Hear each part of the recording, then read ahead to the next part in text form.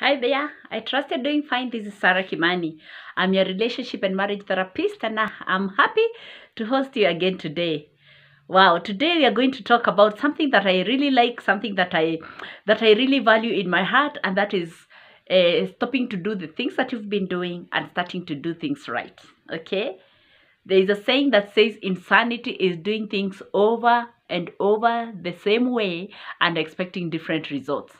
So that is insanity. So in your marriage, stop insanity in Jesus' name. And before we talk about it, let us pray together. Father, in Jesus' name, we give you thanks. You are God who loves growth, O Jehovah Lord. You tell us, O dear Father, to prosper, O dear Lord, in many other ways, even as our souls prosper. God Almighty, I pray that you may help my viewers to prosper in their marriages in the name of Jesus. We give you thanks and we give you honor.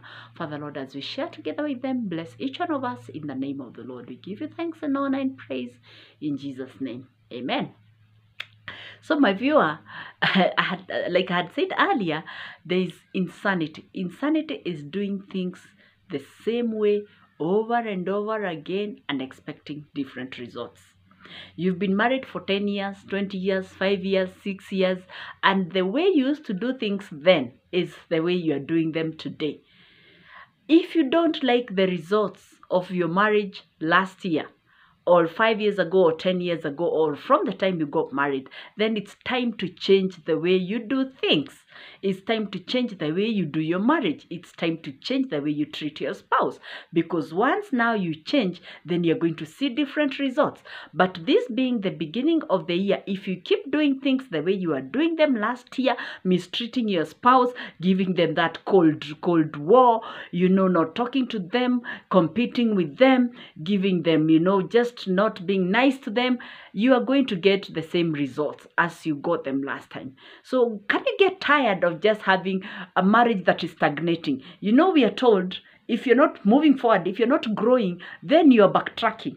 Then you're moving backwards. There's nothing that is called stagnation in marriage or stagnation in whatever area. If you're not growing in your marriage, then you're growing, you're going backwards and you're actually retrogressing. So the thing is, please improve or purpose to improve your marriage this year by treating your, your spouse well, by treating each other with respect, by just working together, by taking each other out, by just trying to learn emotional intelligence, by just purposing to enjoy your marriage, to work together because you have realized that marriages cannot work on their own. Marriages are meant to work.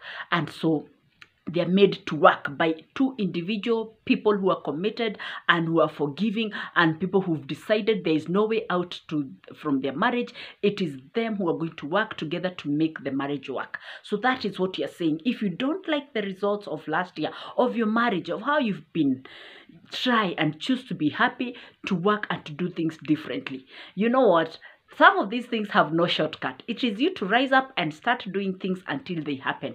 Otherwise, if you keep seeing and admiring other marriages out there and you're not working on your own, then you'll be in trouble and you'll continue being not happy in your marriage. So, purpose to be happy this year, purpose to take your spouse out, purpose to be nice to them, purpose to understand them and to, to, to do things together, and then you are going to enjoy your marriage. That's my prayer for you, and that's my wish for you today and this year and beyond, even as you grow in your marriage. Okay, that's what I wanted us to talk today that we stop our insanity in our marriage so that we change and do things differently. Okay, God bless you so, so much, and I will see you, see you soon.